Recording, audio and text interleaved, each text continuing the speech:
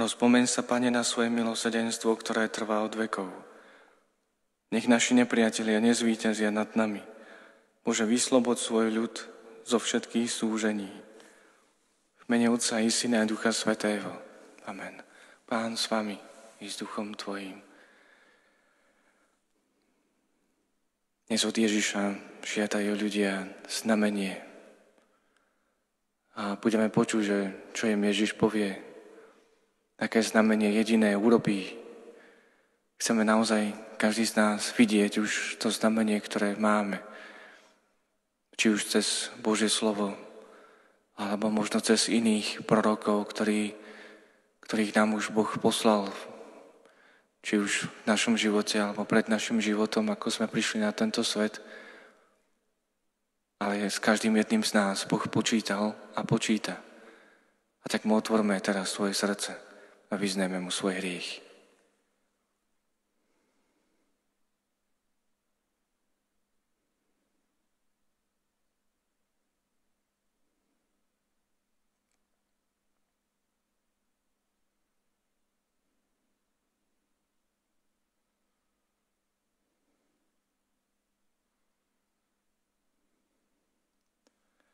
Zmiluj sa nad nami, Pane, lebo sme sa prehrešili proti Tebe.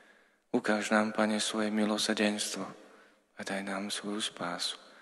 Nech sa smiluje nad nami všemohúci Boh, kde nám rýchy odpustí, Pane, nás privedie do života večného.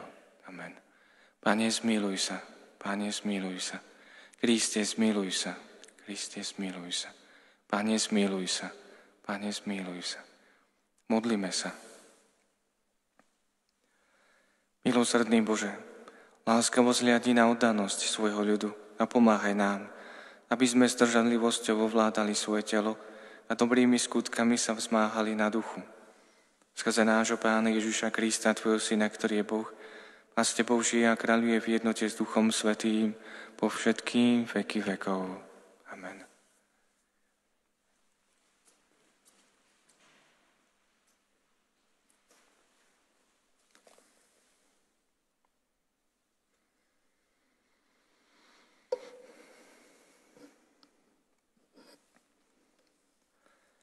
Čítanie z knihy proroka Jonáša. Pán prehovoril k Jonášovi. Vstaň, choď do veľkého mesta Ninive a káž tam, čo ti hovorí.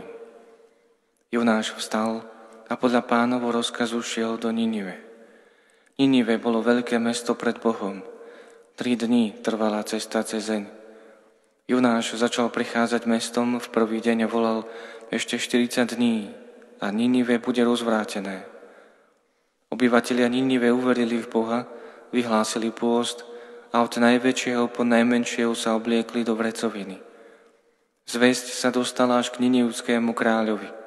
Vstal zo svojho trónu, shodil zo seba plášť, obliekol si vrecovinu a posadil sa do popola. Potom dal rozhlásiť po Ninive rozhodnutie kráľa a jeho veľmožov. Nech nič neukúsia ľudia ani zvieratá, dobytok a ovce nech sa nepasú, ani vodu nech nepijú. Ľudia i zvieratá nech sa oblečú do vrecoviny a hlasno volajú k Bohu. A nech sa každý odvráti od svojej zlej cesty a od násilia, ktoré pácha. Kto vie, možno Boh zmení svoje rozhodnutie a odpustí nám. Odloží svoje rozhorčenie a nezahynieme. A Boh videl ich skutky, že sa odvrátili od svojej zlej cesty – Zmiloval sa a nepostihol ich nešťastím, ktorým im hrozil. Počuli sme Bože slovo. Bohu vďaka. Bože, Ty nepohľadaš srdcom skrúšeným a poníženým. Bože, Ty nepohľadaš srdcom skrúšeným a poníženým. Smiluj sa, Bože, nado mnou pre svoje milosedenstvo a pre svoje veľké zľutovanie znič moju neprávosť Úplne zmizo mňa moju vinu a očísť ma od hriechu. Bože, Ty nepohľadáš srdcom skrúšeným a poníženým. Bože, stvor vo mne srdce čisté a v mojom vnútri obnov ducha pevného. Neodvrhuj ma spred svoj tváre a neodnímaj mi svojho ducha svetého. Bože, Ty nepohľadáš srdcom skrúšeným a poníženým. Veď Ty nemáš záľubu v obete, ani žertvu nepríjmeš odo mňa. Obetou Bohu milov jedu skrúšený, Bože, Ty nepohrdáš srdcom skrúšeným a poníženým. Bože, Ty nepohrdáš srdcom skrúšeným a poníženým.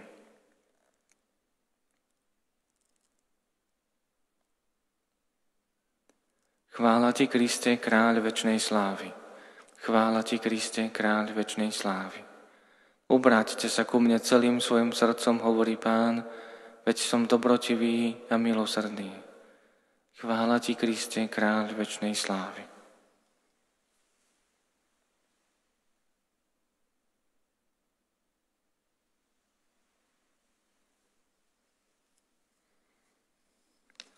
Pán s vami i s duchom Tvojim. Čítanie zo Svetého Evanielia podľa Lukáša. Sláva Tebe, Pane.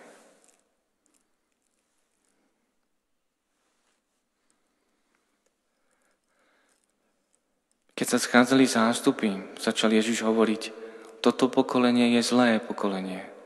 Žiada znamenie, ale znamenie nedostane, iba k znameniu Jonášovo. Lebo ako bol Jonáš znamením pre Ninivčanov, tak bude syn človeka pre toto pokolenie. Kráľovná z juhu vystúpi na súde proti mužom tohto pokolenia a odsúdi ich.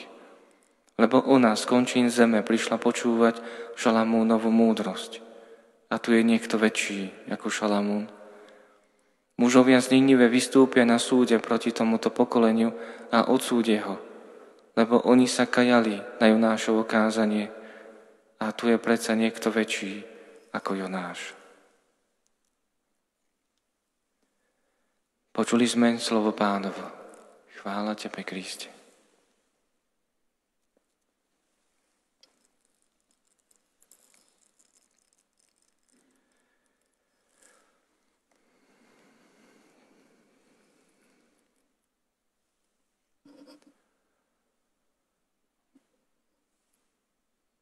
dnes Božom slove môžeme vnímať eh, Jonáša, ktorý len takým suchým spôsobom šiel cez mesto Ninive, dnešný myslím, že Mosul.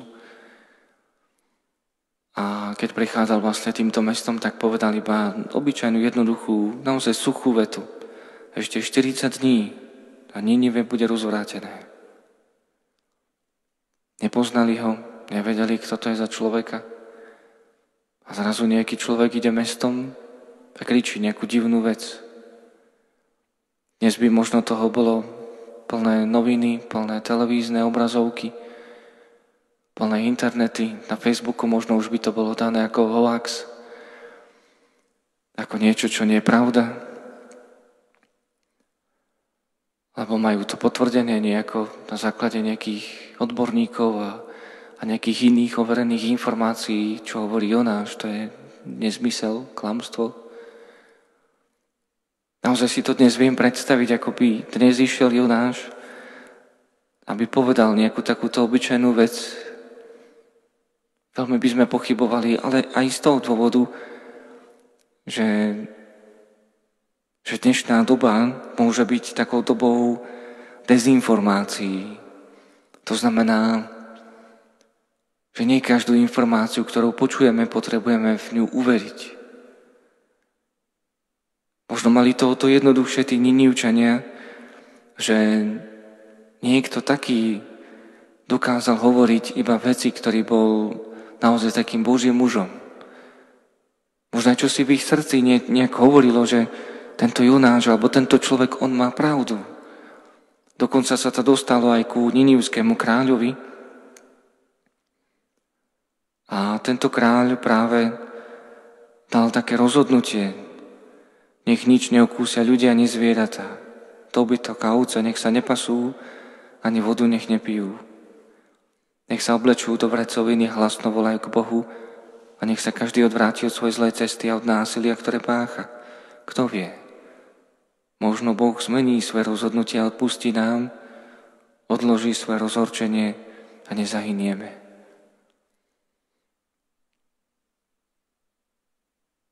Isté, mohli by sme vždy spochybňovať, bolo to naozaj tak, nebolo to naozaj tak. naozaj ten kráľ uveril tomu, čo počul od nejakého neznámeho muža, ktoré, ktorý bol pre nich naozaj úplne cudzím mužom. Dnešná doba, hoci sme homo sapiens, čiže akési pokolenie vedy alebo nejakých poznatkov, naozaj máme možnosť sa dnes dostať ku rôznym informáciám, nie ku všetkým, niekedy aj ku naozaj dezinformáciám, nie všetkému potrebujeme uveriť, aj keby to bolo nejako dávané ako v mene vedcov, v mene odborníkov. Že dnešná doba tak veľmi rýchlo sa tak nejako odvoláva na to, že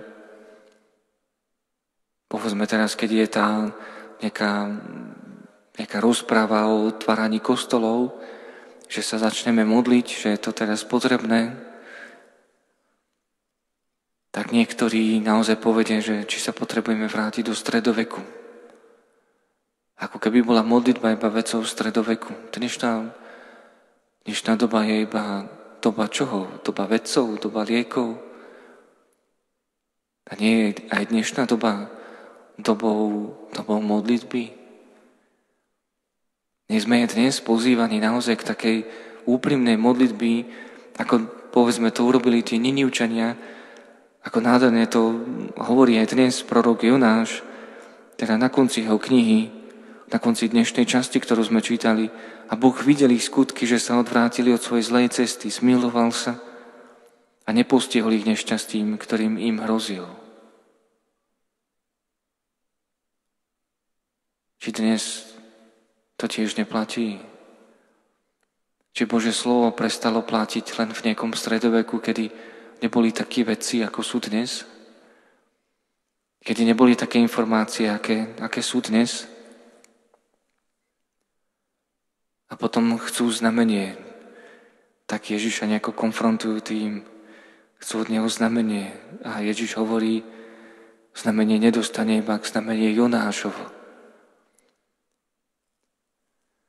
Lebo ako bol Jonáš znamením pre Ninivčanov, tak bude aj syn človeka pre toto pokolenie. Tak bude aj syn človeka pre toto pokolenie. Každý z nás je pozvaný k tomu, aby sme sa vrátili k tomu synovi človeka, teda k Ježišovi. Aby sme naozaj dokázali byť tými, ktorí Ježišovi ukazujú to svoje srdce nie na základe stredoveku. Nie na základe toho, že modlia sa už len naozaj nejaký ľudia, ktorí už to majú nejaké také trošku pomílené, alebo naozaj ako vedci prišli na to, že modlia sa iba tí, čo majú nižšie IQ. Tak fajn, tak budeme v mínuse. Ale ak sme skutočne veriaci, alebo taký nejaký, naozaj, že chceme nasledovať Boha, nielen preto, lebo sa nudíme, lebo nemáme čo robiť, lebo potrebujeme nejakú barličku v živote, Ak naozaj chceme prichádzať k Bohu s takou úprimnosťou, otvorenosťou,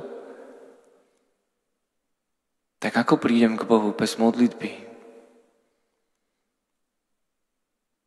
Možno naozaj, keď tak nejako hovorím o modlitbe, tak mi tak prichádza aj Pater Pio, ktorý, ktorý tak nejako často poukazoval na modlitbu a vlastne najčastejšie najčastejšie tak nejako hovoril o modlitbe a tiež by sme mu, neviem, nejako oponovali, že tak máme sa modliť a pritom vonka zúri druhá svetová vojna. Pater Pio, to stačí? Dnes zúri iný vírus. Je to druhá svetová vojna? Hoci kde si som čítal, že už zomrelo viac ľudí ako počas SNP. Ale je to také pre mňa také zvláštne, že tá počas, počas druhej svetovej vojny sme sa mohli modliť, teraz, teraz je to stredovek, teraz sa z toho ideme vysmievať. Ako veľmi potrebujeme znova sa vrátiť k tomu, naozaj k tomu, čo hovoril aj prorok Jonáš. Nech je to pre nás tiež takým znamením. Modlitba a pokánie. Modlitba a ľútosť nad svojimi hriechmi. Ako sa veľmi potrebujem aj ja modliť aby som mal stále možnosť prísť k Bohu, aj možno práve cez, cez spoveď, Cez to, že Bohu ukážem to svoje pokánie. Pane, pozri sa. Pozri sa, že aj ja som hriešný. A ja potrebujem Tvoje milosedenstvo. Dovolme Ježišovi aj dnes, aby sa nás dotýkal, aby možno aj povedzme dnešný kantrový deň, aby sme dokázali byť tými, ktorí vedia dať Bohu to svoje hriešné srdce. Aby platilo to, o čo sa modlívame, keď sa modlíme litáne k boskému srdcu, správ srdca naše podľa svojho srdca. Pane,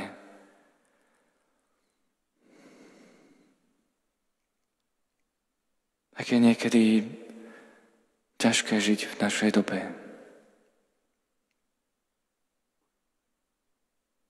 ale nie je to ťažké, pretože že už človek nevládze, ale sme častokrát takí bombardovaní rôznymi informáciami, rôznym výsmechom, ako veľmi aj dnes potrebujeme takých prorokov Jonášov. Ako veľmi aj dnes potrebujeme tých, ktorí nám budú hlásať Tvoje slovo. Tvoje slovo, nie svoje, ale Tvoje slovo. Ako aj dnes počuje, potrebujeme počuť takýchto prorokov, ktorí nám nehlásajú iba nejaké blúdy, ale ktorí nám budú hlásať Tvoje slovo. Pane, túžime po Tvojom slove. Túžime po Tvojom zľutovaní sa nad nami, pretože Ty nepohrodáš srdcom skrúšeným a poníženým. Ty ním nepohrodáš. My túžime k Tebe prichádzať ako tí, ktorí majú skrúšené srdce. Srdce túžiace po Tvojom odpustení, zľutovaní. Pane, nech sa na nás vyleje Tvoja, Tvoja láska, Tvoje odpustenie, Tvoje milosedenstvo. Potrebujeme byť naplňaní Tebou. Potrebujeme ťa, Pane, nájsť vo svojom živote. Potrebujeme byť byť blízko Teba. Pane, nasíť nás svojim odpustením, nasíť nás svojou láskou, nasíť nás milosťou, milosťou pokánia. Amen.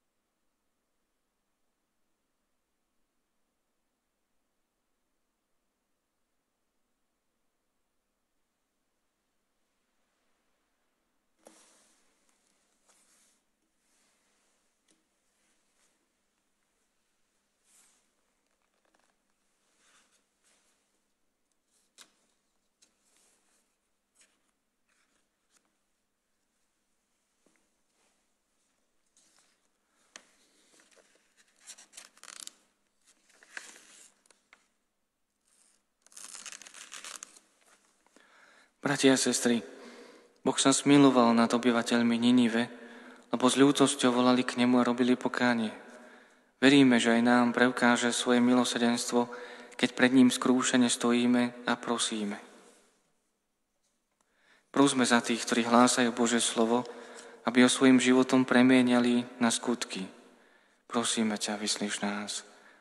Prosme za politikov a štátnikov, aby hľadali vždy také riešenia, ktoré budú na prospech všetkých národov. Prosíme ťa, vyslíš nás.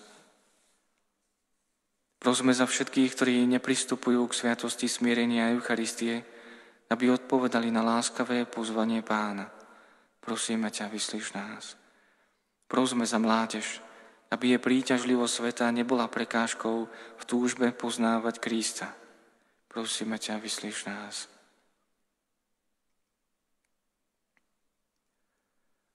Prosme za, tvoje, za Božie požehnanie pre, pre Angelu s rodinou, aby ju Pán vždy sprevádzal, vždy ju chránil pomáhali jej v tom, čo potrebuje a aby sa vždy utiekali k Tebe. Prosíme ťa, vyslíš nás. Pane, prosíme ťa aj za lekárnikov a všetkých tých, ktorí sa starajú v nemocniciach o chorých, aby si im pomáhal, aby si ich posilňoval, aby si ich chránil pred chorobami. Prosíme ťa, vyslíš nás. Pane, prosíme ťa aj za vyvolenie nového diecezného biskupa, aby to bol biskup, ktorý má otcovské srdce, aby to bol biskup, ktorý je upriamený na Teba a počúva Tvoje slovo, aby nás On mohol viesť k Tebe. Prosíme ťa, vyslíš nás. Dobrý oče, vyslíš naše prosby, ktoré Ti predkladáme, splň naše skryté túžby, ktoré poznáš len Ty sám a príď nám na pomoc v našej slabosti. O to ťa prosíme skrze Krista nášho Pána. Amen.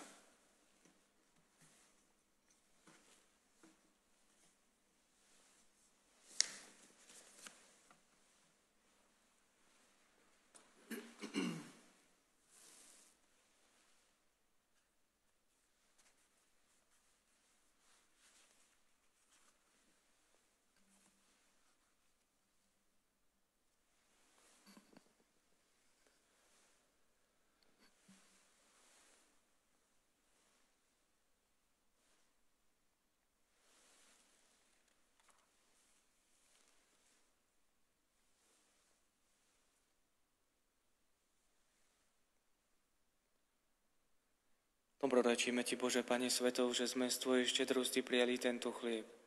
Obetujeme ho Tebe ako plod zeme a práce ľudských rúk, aby sa nám stal chlebom života. Zvelebený Boh na veky.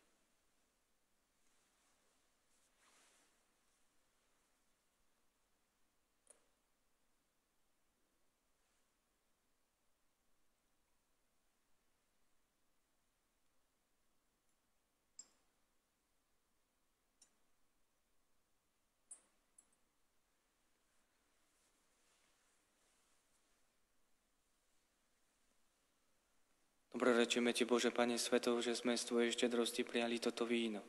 Obetujeme ho Tebe ako plod viniča a práce ľudských rúk, aby sa nám stalo duchovným nápojom. Zvelebený Boh na veky.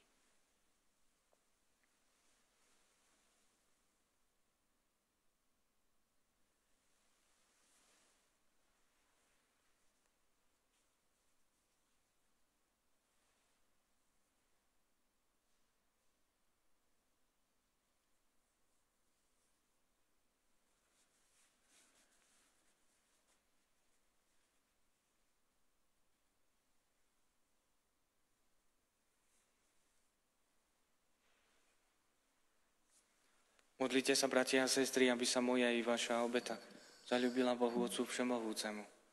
Nech Pán príjme obetu z Tvojich rúk na chválu a slávu svojho mena, na ožitok nám i celej Svetej Církvi. Bože Oče náš, predkladáme Ti dary, ktoré si nám dal, aby sme Ti ich mohli obetovať. Prosíme ťa, premen ich na sviatosť, ktorú príjmeme ako pokrom pre väčší život. Skrze Krista nášho Pána. Amen. Pán s vami i s duchom Tvojim. Hore srdcia, máme ich u Pána. Vzdávajme vďaky Pánovi Bohu nášmu. Je to dôstojné a správne. Je naozaj dôstojné a správne spievať pieseň chvály a veleby Tebe, Všemohúci oče, a pôstnym seba zapieraním uznávať Tvoju dobrotu a vzdávať Ti vďaky. Lebo Ty chceš, aby sme premáhaním seba krotili svoju píchu a otvárali srdcia pre chudobných. Keď sa s nimi delíme o chlieb, napodobňujeme Tvoju dobrotu i lásku Tvojho Syna, nášho Pána Ježiša Krista. Skrze Neho klanejú sa Ti zástupy anielov a väčšine sa radujú v Tvojej prítomnosti. Prosíme ťa, pripoj k ním aj naše hlasy, keď spoločne voláme na Tvoju slávu. Svetý, svetý, svetý, Pán Boh všetkých svetov, plné sú nebesia i zem Tvojej slávy. Husana na výsostiach. Požehnaný, ktorý prichádza v mene pánovom, Hosana na výsostiach. Naozaj si svetý oče, ty prameň všetkej svetosti. Preto ťa prosíme, posveď tieto dary rosou svojho ducha, aby sa nám stali telom a krvou nášho pána Ježiša Krista. On prvne sa dobrovoľne vydal na smrť, vzal chlieb, a vzdával vďaky. Lámal ho a dával svojim učeníkom hovoriac. Vezmite a jedzte z neho všetci. Toto je moje telo, ktoré sa obetuje za vás.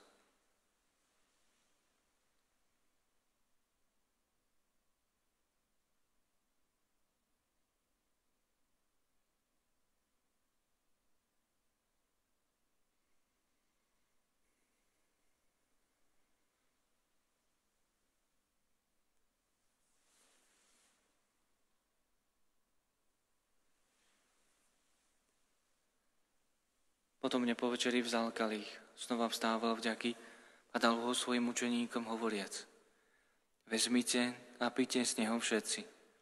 Toto je kalich mojej krvi, ktorá sa vylieva za vás i za všetkých na odpustenie hriechov. Je to krv novej a väčšnej zmluvy. Toto robte na moju pamiatku.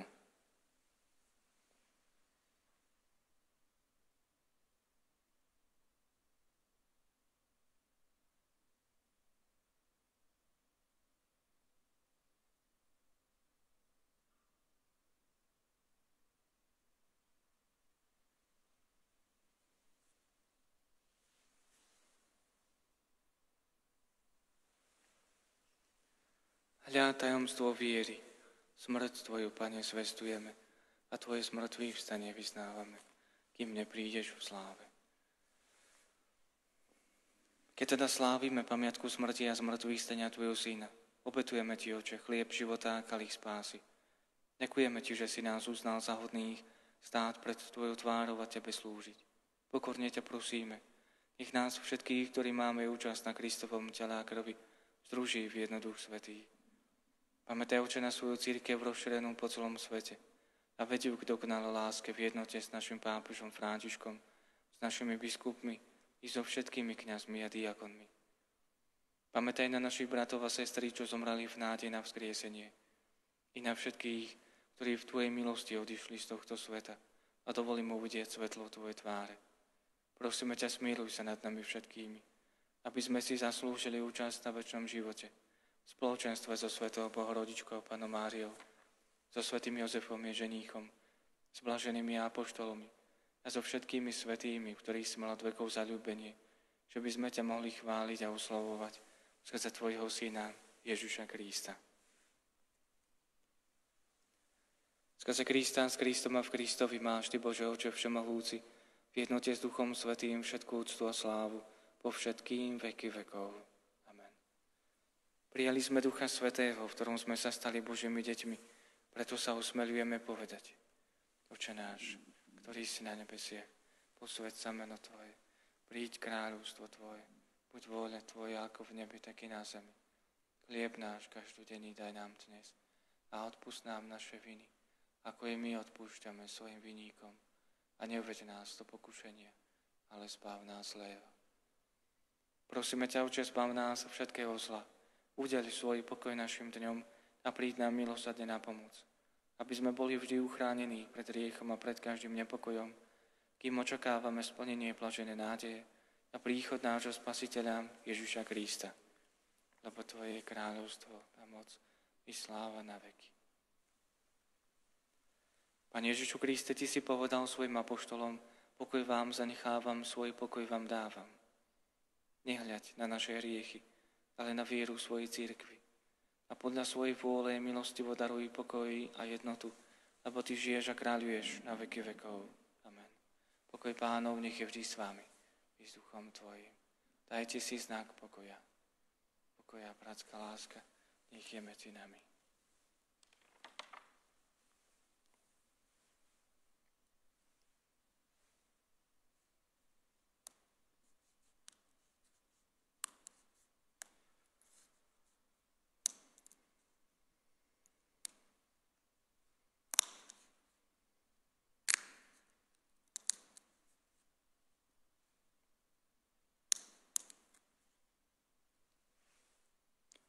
Baránok Boží, Ty snímaš riechy sveta, smiluj sa nad nami.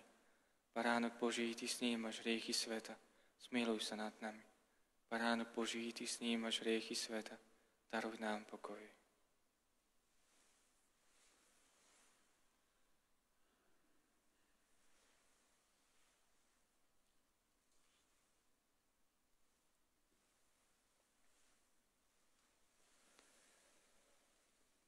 Hľa baránok Boží, ktorý sníma hriechy sveta. Blažení tí, čo sú pozvaní na hostinu baránkovu. Pane, nie som ten, aby si vošiel pod moju strechu, ale povedz iba slovo a duša mi ozdravie.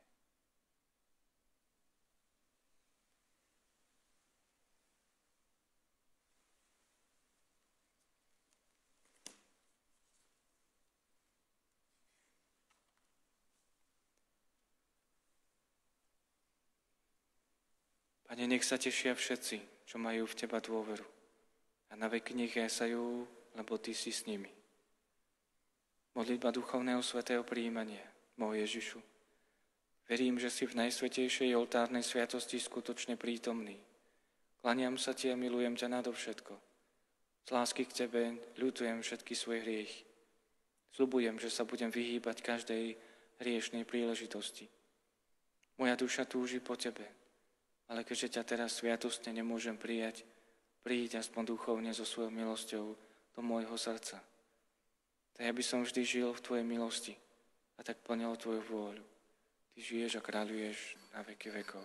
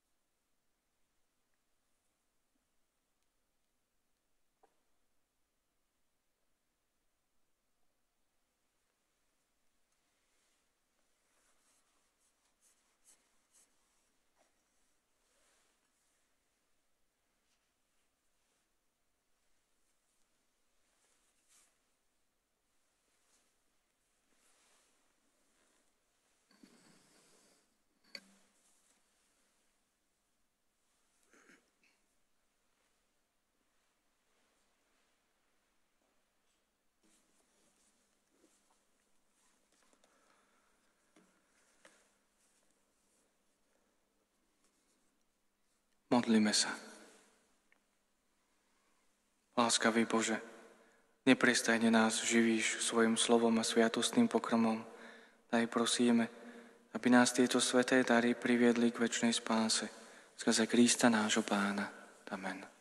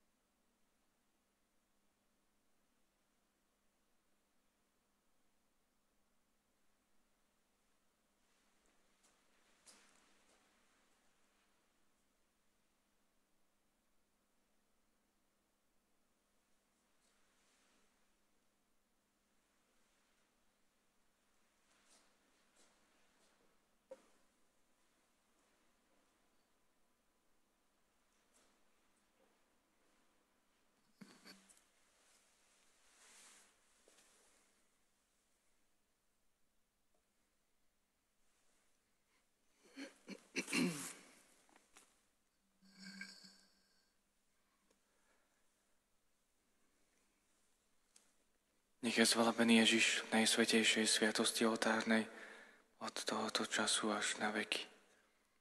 Pane, smiluj sa, Pane, smiluj sa.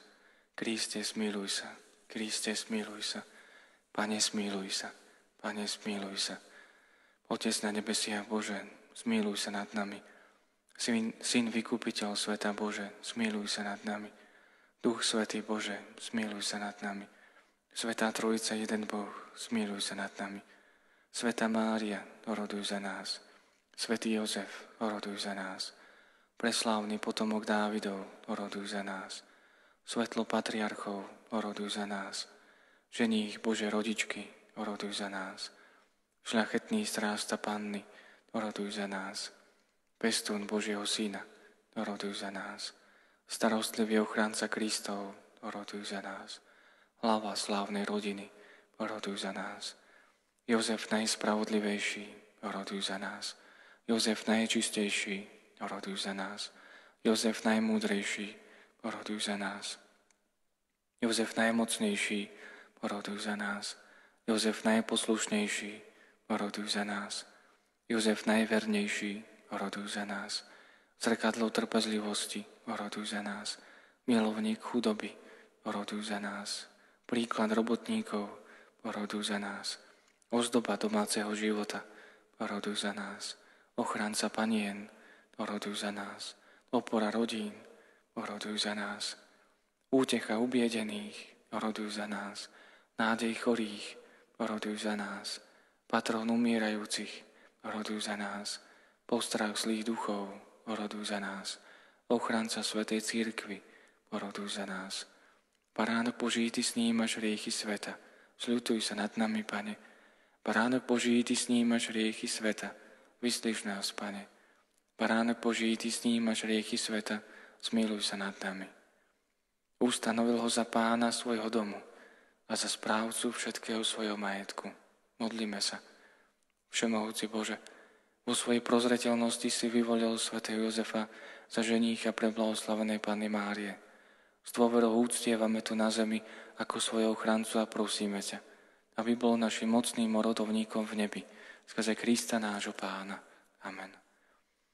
K Tebe sa utiekame, svätý Jozef, vo svojich súženiach a prosíme o pomoc Teba i Tvoju nevestu.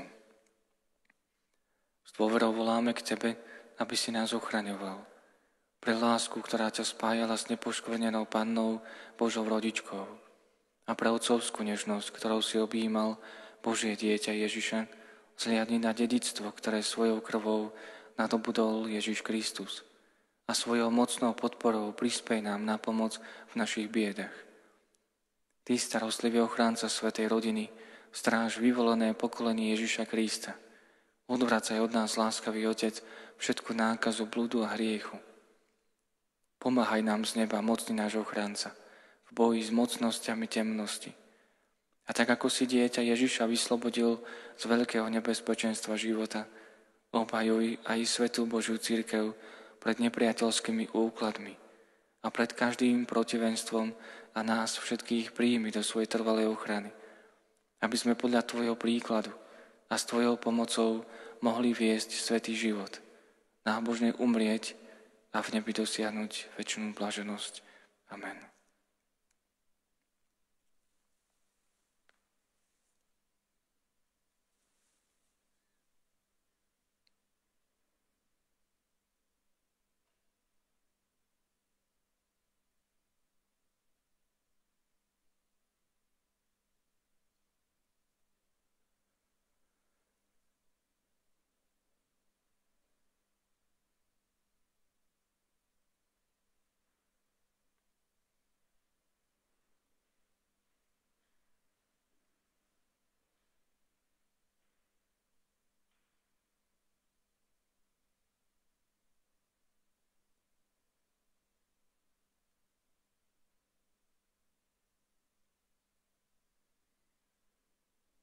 Sláva Otcu i Synu i Duchu Svetému, ako bolo na počiatku, tak nech je teraz i vždycky i na veky vekov. Amen.